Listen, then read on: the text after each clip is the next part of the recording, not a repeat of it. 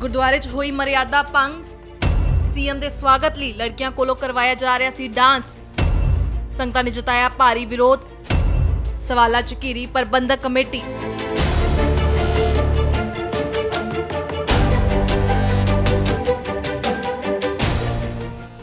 ਉੱਤਰਾਖੰਡ ਦੇ ਗੁਰਦੁਆਰਾ ਨਾਨਕ ਮਤਾ ਸਾਹਿਬ ਦੀ ਇੱਕ ਵੀਡੀਓ ਸੋਸ਼ਲ ਮੀਡੀਆ ਤੇ ਕਾਫੀ ਵਾਇਰਲ ਹੋ ਰਹੀ ਹੈ। ਇਸ ਵੀਡੀਓ 'ਚ ਗੁਰਦੁਆਰਾ ਕੰਪਲੈਕਸ ਦੇ ਅੰਦਰ ਲੜਕੀਆਂ ਦੇ ਵੱਲੋਂ ਇੱਕ ਡਾਂਸ ਪਰਫਾਰਮੈਂਸ ਕੀਤੀ ਜਾ ਰਹੀ ਹੈ। ਤੇ ਇਸੇ ਡਾਂਸ ਪਰਫਾਰਮੈਂਸ ਤੇ ਹੁਣ ਸਿੱਖ ਸੰਗਤਾਂ ਨੇ ਭਾਰੀ ਰੋਸ ਜਤਾਇਆ ਹੈ। ਇਹ ਡਾਂਸ ਪਰਫਾਰਮੈਂਸ ਉੱਤਰਾਖੰਡ ਦੇ ਨਵੇਂ ਸੀਐਮ ਪੁਸ਼ਕਰ ਸਿੰਘ ਧਾਮੀ ਦੇ ਸਵਾਗਤ ਲਈ ਹੋ ਰਹੀ ਸੀ। ਤੇ ਇਸੇ ਵੀਡੀਓ ਦੇ ਸੋਸ਼ਲ ਮੀਡੀਆ ਤੇ ਵਾਇਰਲ ਹੋਣ ਮਗਰੋਂ ਹੁਣ ਸਿੱਖ ਸੰਗਤਾਂ ਨੇ ਭਾਰੀ ਰੋਸ ਜਤਾਇਆ ਅਕਾਲ ਤਖਤ ਦੇ ਜਥੇਦਾਰ ਗਿਆਨੀ ਹਰਪ੍ਰੀਤ ਸਿੰਘ ਦੇ ਵੱਲੋਂ ਤਾਂ ਇਸ ਮਾਮਲੇ ਦੇ ਵਿੱਚ ਪੰਜ ਮੈਂਬਰੀ ਕਮੇਟੀ ਦਾ ਗਠਨ ਕੀਤਾ ਗਿਆ, ਜੋ ਇਸ ਮਾਮਲੇ ਦੇ ਵਿੱਚ ਜਾਂਚ ਕਰ ਰਹੀ ਹੈ। ਇਸ ਵੀਡੀਓ ਦੇ ਸਾਹਮਣੇ ਆਉਂਦੇ ਹੀ ਨਾਨਕ ਮਤਾ ਗੁਰਦੁਆਰਾ ਪ੍ਰਬੰਧਕ ਕਮੇਟੀ ਨੇ ਅਸਤੀਫਾ ਦੇ ਦਿੱਤਾ। ਤੇ ਇਸੇ ਮਾਮਲੇ ਦੇ ਵਿੱਚ ਪ੍ਰੇਮ ਸਿੰਘ ਚੰਦੂ ਮਾਜਰਾ ਦਾ ਕਹਿਣਾ ਹੈ ਕਿ ਸਿੱਖ ਭਾਵਨਾਵਾਂ ਨੂੰ ਠੇਸ ਪਹੁੰਚੀ ਹੈ।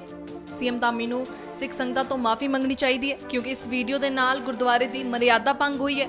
ਦੇਖੋ, ਬੜਾ ਦੁਖਦਾਈ ਔਰ ਚਿੰਤਾ ਵਾਲੀ ਗੱਲ ਆ ਕਿ ਬਾਬਾ ਤਰਸੇਮ ਸਿੰਘ, ਜਿਨ੍ਹਾਂ ਦੀ ਅਸੀਂ ਬੜੇ ਇੱਜ਼ਤ, ਮਾਣ, ਸਤਿਕਾਰ ਕਰਦੇ ਆ ਉਹਨਾਂ ਨੇ ਇਸ ਖੁਸ਼ਾਮਦੀ ਤੱਕ ਚਲੇ ਗਏ ਕਿ ਉੱਤਰਾਖੰਡ ਦੇ ਮੁੱਖ ਮੰਤਰੀ ਨੂੰ ਖੁਸ਼ ਕਰਨ ਲਈ ਗੁਰਦੁਆਰਾ ਸਾਹਿਬ ਦੀਆਂ ਪਰੰਪਰਾਵਾਂ, ਮਾਨਤਾਵਾਂ ਤੇ ਮਰਿਆਦਾ ਨੂੰ ਤਿਆਗ ਕੇ ਜਿਸ ਤਰ੍ਹਾਂ ਉੱਥੇ ਜੋ ਜੋ ਕੁਕਰਮ ਕੀਤਾ ਮੈਂ ਤਾਂ ਕਹਾਂਗਾ, ਮਹਾਨ ਪਵਿੱਤਰ ਧਰਤੀ ਜੋ ਸ੍ਰੀ ਗੁਰੂ ਨਾਨਕ ਦੇਵ ਸਾਹਿਬ ਜੀ ਦੀ ਚਰਨ ਛੋਹ ਧਰਤੀ, ਨਾਨਕ ਮੱਤਾ ਜਿੱਥੇ ਆਸਥਾ ਲੋਕਾਂ ਦੀ ਬਣੀ ਹੋਈ ਆ, ਨਾ ਕੇਵਲ ਸਿੱਖ ਸਮਾਜ ਦੀ ਬਲਕਿ ਬਹੁਤ ਸਾਰੇ, ਬਹੁਤ ਧਰਮੀ ਲੋਕ ਉੱਥੇ ਜਾ ਕੇ ਗੁਰੂ ਨਾਨਕ ਦੀ ਮਹਾਨ ਵਿਚਾਰਧਾਰਾ ਨੂੰ ਮੱਥਾ ਟੇਕਦੇ ਨੇ ਤੇ ਉਸ ਸਥਾਨ ਤੇ ਜੋ ਕੁਕਰਮ ਹੋਇਆ, ਉਹਦੇ ਨਾਲ ਮੈਂ ਸਮਝਦਾ ਇੱਕ ਵਾਰੀ ਫੇਰ ਮਹੰਤ ਸ਼ਾਹੀ ਅੰਗਰੇਜ਼ਾਂ ਦੇ ਸਮੇਂ ਦੀ ਯਾਦ ਕਰਾਤੀ। ਇਹਦੇ ਨਾਲ ਸਿੱਖ ਭਾਵਨਾਵਾਂ ਨੂੰ ਠੇਸ ਪਹੁੰਚੀ ਆ, ਸਿੱਖ ਜਜ਼ਬਾਤ ਕੁੱਟਰੇ ਗਏ ਔਰ ਮੈਂ ਸਮਝਦਾ ਕਿ ਬਾਬਾ ਜੀ ਨੂੰ ਮਾਫੀ ਮੰਗਣੀ ਚਾਹੀਦੀ ਆ ਪ੍ਰਬੰਧਕਾਂ ਨੂੰ। ਇਸ ਗੱਲ ਦੀ ਮਾਫੀ ਮੰਗ ਕੇ ਜਿਨ੍ਹਾਂ ਨੇ ਵੀ ਇਹ ਕੀਤਾ, ਕਰਾਇਆ ਉਹਨਾਂ ਤੇ ਸਖਤ ਐਕਸ਼ਨ ਲੈਣਾ ਚਾਹੀਦਾ ਔਰ ਮੁੱਖ ਮੰਤਰੀ ਉੱਤਰਾਖੰਡ ਨੂੰ ਵੀ ਮਾਫੀ ਮੰਗਣੀ ਚਾਹੀਦੀ ਆ, ਜਿਹੜੇ ਸਾਡੇ ਧਰਮ ਦੇ ਵਿੱਚ, ਸਾਡੇ ਮਹਾਨ ਧਰਮ ਸੰਸਥਾਵਾਂ ਦੇ ਵਿੱਚ ਇਸ ਤਰ੍ਹਾਂ ਮਰਿਆਦਾ ਤੇ ਉਲਟ ਕਾਰਵਾਈ ਕਰਦੇ ਨੇ। Bureau report, Dainik Savera TV.